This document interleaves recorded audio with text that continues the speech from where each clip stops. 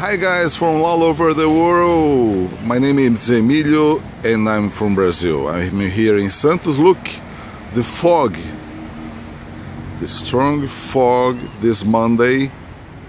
As you see, as you cannot see the ocean, nothing, because everything is hidden by the, the fog.